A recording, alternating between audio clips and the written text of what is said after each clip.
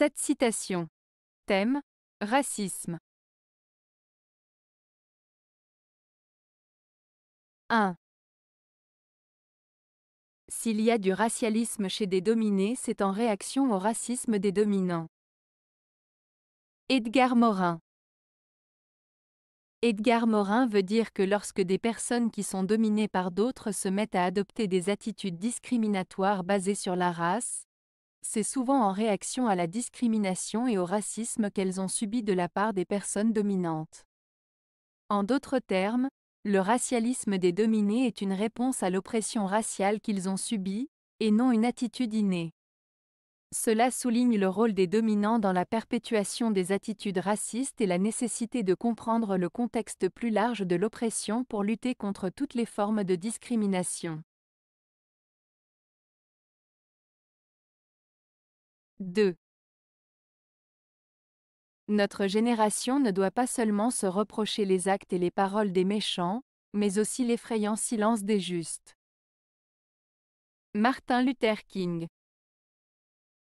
cette citation de Martin Luther King signifie que notre génération ne doit pas seulement condamner les actions et les paroles des personnes malveillantes, mais aussi le silence des personnes qui auraient dû agir pour défendre la justice et les droits des autres. En d'autres termes, il met en lumière le fait que ne pas agir face à l'injustice est également une forme de complicité. Il nous encourage à ne pas rester passifs et à nous lever pour ce qui est juste, même si cela implique de sortir de notre zone de confort et de briser notre silence. 3. Quand un blanc dit qu'un noir est un con, on dit que le blanc est raciste. Quand un noir dit qu'un blanc est un con, on dit que le blanc est un con. Pierre Desproges cette citation de Pierre Desproges met en lumière le double standard qui existe souvent dans la manière dont nous percevons et interprétons les propos racistes.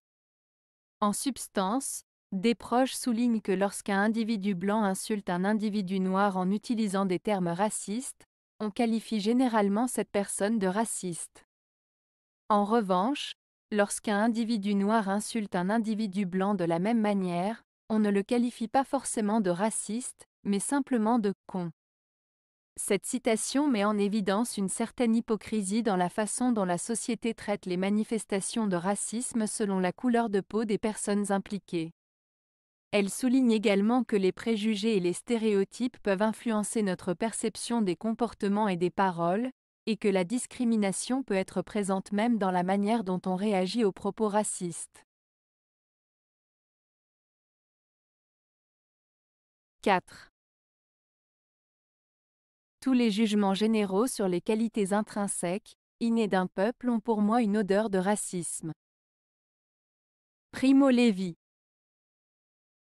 Dans cette citation de Primo Levi, l'auteur exprime son opinion sur les jugements généraux basés sur les qualités intrinsèques ou innées d'un peuple. Selon lui, de tels jugements dégagent une odeur de racisme. En d'autres termes, Lévy critique le fait de faire des généralisations sur un peuple en se basant sur des caractéristiques supposées innées, car cela peut conduire à des préjugés et à des discriminations basées sur la race. Il soulève ainsi la question de la dangerosité de catégoriser et de stéréotyper un groupe de personnes en fonction de caractéristiques présumées héritées, soulignant que cela peut mener à des attitudes discriminatoires et injustes. 5. Le raciste est celui qui pense que tout ce qui est trop différent de lui le menace dans sa tranquillité. Tahar Ben Jeloun Dans cette citation de Tahar Ben Jeloun, l'auteur définit le racisme comme le fait de considérer que tout ce qui est trop différent de soi représente une menace pour sa propre tranquillité. En d'autres termes, le raciste est celui qui perçoit les différences culturelles, ethniques ou religieuses comme des sources de danger ou d'insécurité pour lui-même. Cette vision étroite et discriminatoire conduit à des préjugés et à des comportements injustes envers les individus ou groupes considérés comme trop différents. 6. Très souvent, le raciste s'aime beaucoup. Il s'aime tellement qu'il n'a plus de place dans son cœur pour les autres, d'où son égoïsme. Tahar Ben Jeloun Cette citation de Tahar Ben Jeloun met en lumière le concept selon lequel les personnes racistes ont souvent un amour excessif pour elles-mêmes. En étant tellement absorbées par leur propre personne, elles n'ont plus de compassion ni d'empathie pour les autres. Leur égoïsme les empêche d'ouvrir leur cœur aux différences et les pousse à rejeter les personnes différentes d'elles-mêmes. En somme, cette citation souligne comment le racisme peut découler d'un excès d'amour-propre qui étouffe toute capacité à accepter et respecter la diversité. 7. On est toujours l'étranger de quelqu'un. Apprendre à vivre ensemble, c'est cela lutter contre le racisme.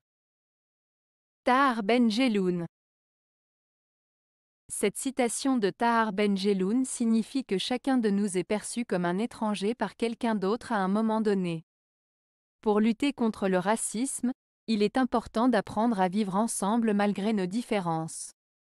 En acceptant et en respectant les autres, nous pouvons combattre les préjugés et les discriminations basées sur l'origine, la culture ou la couleur de peau. En fin de compte, la cohabitation pacifique et le respect mutuel sont essentiels pour construire une société plus inclusive et harmonieuse. Avez-vous aimé la vidéo? Si oui, mettez un pouce vers le haut. Cela aidera la chaîne et aidera les autres à la trouver. Nous ajoutons plusieurs nouvelles vidéos quotidiennement. Abonnez-vous pour ne rien manquer.